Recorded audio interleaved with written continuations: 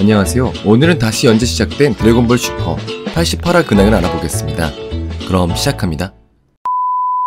드래곤볼 슈퍼 87화에서는 가스와 싸우고 있는 손오공과 베지터 앞에 프리저가 10년 정도 수련을 하면서 새로운 변신인 블랙 프리저를 얻어와 충격을 안겨줬었습니다.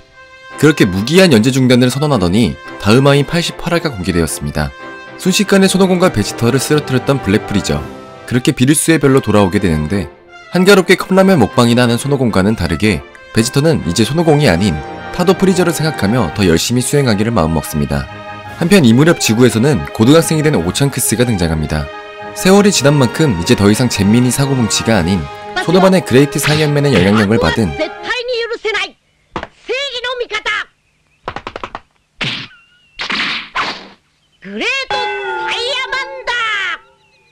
클린업 히어로 사이어맨 1호 사이어맨 2호로 취미생활을 하고 있습니다. 손오반 때와 마찬가지로 만만한 건 역시 강도들. 강도들을 열심히 양악해주는 클린업 히어로 사이어맨 1, 2호들. 반전이라면 이들이 영향을 받은 건 손오반이 아닌 클린 갓이었습니다.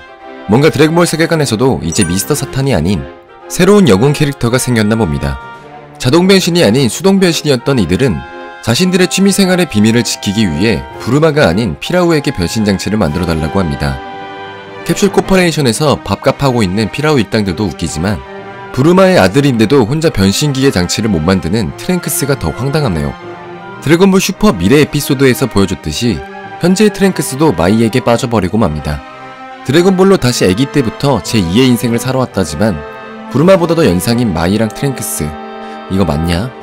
이제 고등학생이 되어 학교를 다니는 트랭크스는 같은 반 친구가 자극적인 모험을 하자며 귀신이 나타나는 곳에 가보자고 제안하는데 마인부우랑 싸우는 건 가능했어도 귀신은 무섭다는 트랭크스.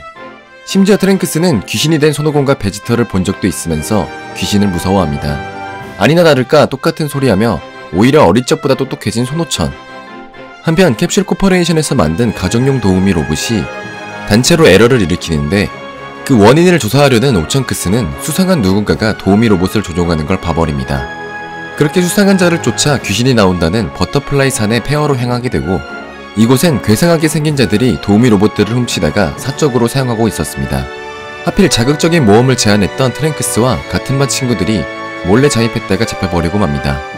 클린업 사이어맨 1호 출동 그러다 트랭크스의 변신이 풀려버리게 되고 똑똑해진 손오천은 급하게 조명을 꺼주며 트랭크스의 반 친구들을 데리고 나와 다같이 귀신에게 홀린 것 같다며 정체를 들킬 뻔한 트랭크스를 위기에서 구해줍니다.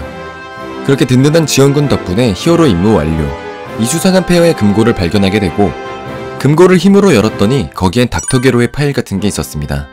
돌아가는 길에 경찰 크리린과 마주치게 되는데 오천크스는 자기들이 방금 싸웠던 적이 죽은 사체들이었다는 걸 알게 됩니다. 죽은 사체들을 살렸던 건 바로 닥터 게로의 손자이자 드래곤볼 슈퍼, 슈퍼히어로 극장판에 등장하였던 닥터 헤도였습니다. 드래곤볼 슈퍼, 슈퍼히어로도 만화에 포함되어 연재될 것 같으며 시기상으로는 슈퍼히어로 이전의 스토리인 것 같네요. 이로써 확실시 되는 건 머지않아 만화에서도 손오반 비스트, 오렌지 피콜로가 나오게 될 것이고 블랙 프리저와 손오반 비스트의 두 재능충들의 대결을 기대해 볼 수도 있다는 것입니다. 그래도 이번 에피소드의 시작은 옛 드래곤볼의 감성이 조금 나타나는 것 같아 괜찮네요. 블랙 프리저에 맞서 손오공과 베지터가 얼마나 더 성장할지, 손오반 비스트는 언제 등장할지, 성인 버전 오천크스를 볼 수 있게 되는 것인지, 블랙 프리저 이외에 새로운 빌런이 등장할 것인지 궁금해지는 에피소드가 될 것 같습니다. 오늘은 다시 연재된 드래곤볼 슈퍼 88화의 근황에 대해 살짝 알아보았고 시청해주셔서 감사하고 좋아요와 구독 부탁드려요.